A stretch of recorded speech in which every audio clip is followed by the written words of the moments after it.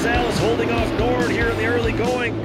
Two of the Yamaha side by Oh, side. Look at. Hager force the issue down to the inside. He's going to collect Van Everett, who almost got hung up on the K-rail down there in the 180. Look at, he just set up that crossover pass right there off the tabletop. And that'll set him up on some dry track down alongside the inside wall on the exit of turn one. And now he's set up way outside, and there's more dry track out there. He's going to try to outbrake Rosales. Rosales doing a fine job playing defense. They make a little wheel-to-wheel contact, but nobody comes out worse for the wear. Great driving by Brock Hager as now he looks to the inside. He's going to try to outbrake Salas. Forces Rosales to go a little bit wide. Hager's got the inside line in the dry track. Rosales with the momentum on the outside. You're right, Shane. Look at that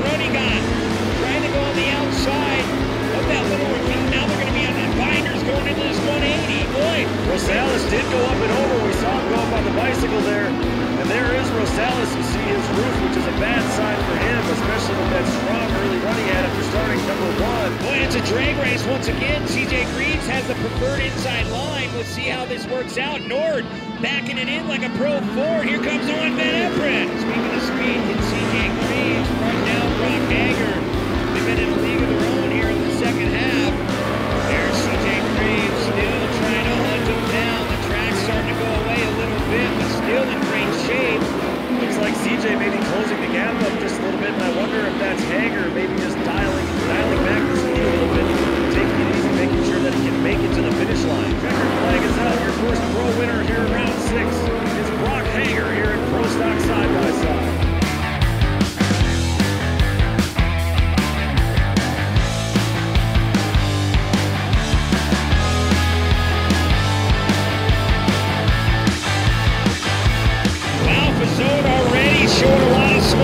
start. Roman side by side is underway here at ERX Motor Park. Yeah, you see it there. That Can-Am of Sony showing a lot of smoke out the back right from the start of this one. That's going to let Leland Tice in the number 94 jump out to the early race lead. Lamar now pulling up to the back bumper of Tice as well. Haugen is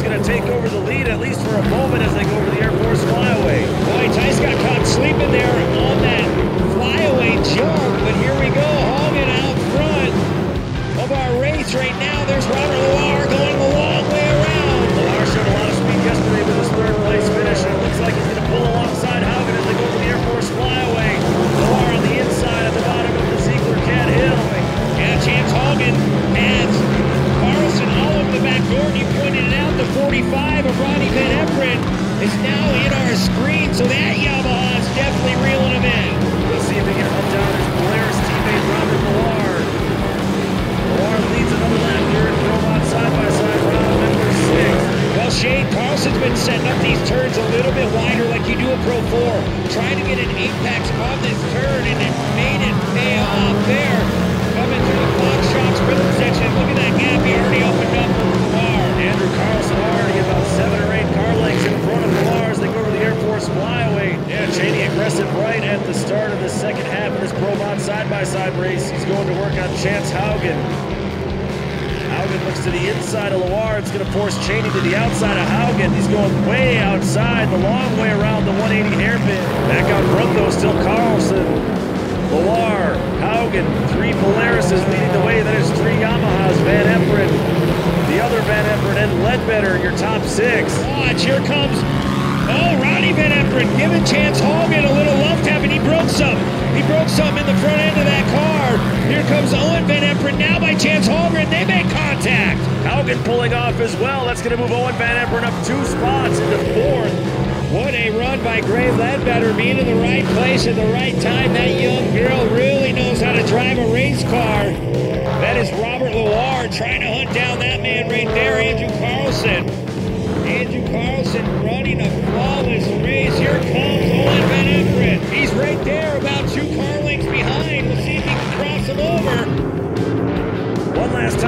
Ziegler Cat turn. Loire holding on to second. Carlson is going to take the win. And at the last second, it's going to be Loire holding off the charge by Owen Van Everett. So Carlson.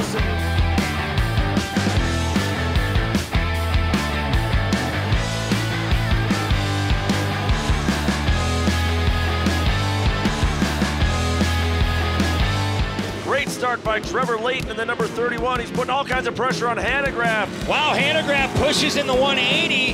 He goes really, really wide. Look at this. Trevor Layton taking over the lead. Here comes Corey Winter. Winter climbing the hill. One more time. Winter really trying to focus. Yeah, Trevor Layton would have run Eves Having early. Looks like Mickey Thomas on our sheets is the fastest on the track right now with a 56 flat. Just look at them all just hanging it out, feathering the throttle. Here comes Kincaid. Made a little contact with Kyle Kleiman. So Kincaid now trying to move up to the field as well. Gutierrez is still about four car lengths behind the 31 of Trevor Layton as they go through Ziegler Cat turn. Fourth, Ricky G just searching for the fast line, and Trevor Layton, man, he's fast. Oh, Kleiman, he had to check up a little bit. He collected Keith Kincaid, no harm, no foul. They both go back underway, but Keith Kincaid lost a lot of track time. Yeah, he looked like he was shot out of a cannon. He just left Ricky G, so Ricky G's gonna have to put his head down, try to hunt down Trevor Layton, but he has a lot more company coming up behind him. Yeah, Kleiman knows he's back there, but look at Keith Kincaid. He goes to the inside, they're door to door, fender to fender, they all make contact. They're three wide going in the split lanes. Oh boy! Look at this! As there goes Kyle Kleiman. Kyle Kleiman from Wilson, Michigan, trying to reel in Corey Winter in that Fabtech ride. Those Kenda tires. We talked to Kenda Mike. He said, hey, there's something to watch. Winter got all crossed up on the exit of the split lane, had to gather it back up. That's going to lose that spot to Kleiman. Oh, Ryan Beat now throwing a lot of smoke. We'll have to keep an eye on it. I think it's a piece of fiberglass just rubbing on the inside part of the tire, but look at this. Ryan beat that hood's right up in his windshield. Back out front, Gutierrez still trying to hunt down the 31 of Layton. Gutierrez looks to the inside through the split lane in Talladega turn. Oh, Ricky Caught G the berm. hits the berm really, really hard. He's lucky he didn't shear off a right rear tire. And here comes Kyle Kleiman. Our leader's going through Ziegler Cat turn. Gutierrez over-rotated just a little bit. He opened the door for a moment to Kyle Kleiman. White flag is out for Layton, your race leader here in round six of Pro 2. But this battle for second has a long way to go. If I can guess right, watch Kyle Kleiman. He'll drive really hard, get on the brakes, and try to sneak underneath. There Look he at goes. that test book pass. Right there. Beautiful slide job. And there's Trevor Layton right ahead of him. Layton, he's going to have his first Pro 2 win here of 2021. Here he is. No sponsors on board. You better take a look. He just took round six.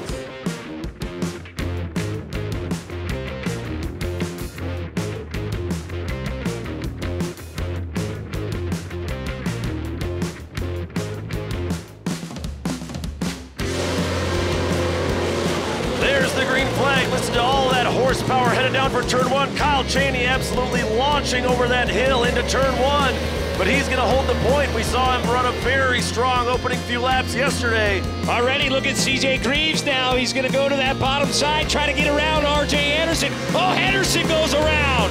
Collects Carlson in the process. That's going to let everybody else go by. So tough, tough break for both of those drivers. Cheney holds the point in a Ziegler cat turn. Greaves drives underneath. Meanwhile, Johnny Greaves makes contact with the tag. One lap is in the books here. CJ Greaves is your race leader. Here comes Dougie Matang to the inside. He remembers Johnny gave him a little tap. We'll have to see if he returns the favor. Back up front, our race for the lead. RJ Anderson putting all kinds of pressure now on the 33 of CJ Greaves. Anderson down to the bottom. He'll take over the race lead here in Pro 4 round 6. Greaves down the outside split lane. Cheney battling back. Look at the speed by the 91 of Cheney through the split lane. Wow, Kyle LeDuc just playing possum in the back, just chilling out. He knows that mandatory competition caution is coming at the halfway point. Oh, Cheney goes around. The Duke not yet ready to strike on Johnny Greaves. That's the battle for third, fourth, and fifth with Cheney joining the party now. Cheney keeping pace with our front-running trucks here. Well, the Duke crosses over right after the rail section.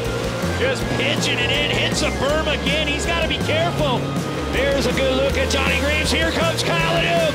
Leduc goes to the inside. They don't make contact. That is how they'll finish here in the first half. There's the Greaves. He's crossing over on both of them. We'll see if he can get it done. Here comes Leduc to the inside. He takes away the spot from John Greaves. Here comes Leduc. He's the man on the move right now. Leduc alongside Greaves are almost three wide as they up the U.S. Air Force flyaway jump. Wow, LeDuc just missed that K-rail coming up the U.S. Air Force flyaway. Here he goes again. R.J. Anderson makes a mistake. They're going to be three wide. I lie, but watch LeDuc. He's going to try to go underneath and push him out. Oh, LeDuc, LeDuc goes around. LeDuc spins around in the 180 turn. That's going to move the wild man, Adrian Cheney, up into third place now. Wow, time is definitely running out. Look at Adrian Cheney. So now nothing between third place, Adrian Cheney, and fourth place, Kyle LeDuc again as they go for Ziegler Cat turn. Boy, Kyle LeDuc really putting the loud pedal down. I don't know if there's going to be enough time. RJ Anderson and CJ Greaves are just flat out flying out in front of this group. Back up front, CJ Greaves still putting the pressure on the 37 NOS energy truck of RJ Anderson. Meanwhile, look out front, Greaves down to the inside of Anderson. They're side by side, leaning on one another past the finish line. It'll be Anderson on the inside into turn one. Still side by side, and Anderson slams the door on Greaves. Way down to the bottom in the 180 goes CJ Greaves. More contact with Anderson. Now they're going to go opposite sides of the split lane. Anderson bounced off the K-rail, Oh. off the berm. Greaves is going to be your new race leader. We have a three-way battle for second. Here comes LeDuc once again. And here comes the wild man Cheney. They're side by side, almost three wide over the U.S. Air Force flyaway. But RJ knew what he was going to do. Anderson trying the slide job move. Cheney not going away either. Wow. Duke go to the right-hand side of the split lane. Anderson to the left side of the split lane. Battle for second still raging on. The Duke pulls in front of Anderson for second place. Wow, what a run by Kyle LeDuc. A little too late. That mistake really costed the Duke. Coming through the final turn.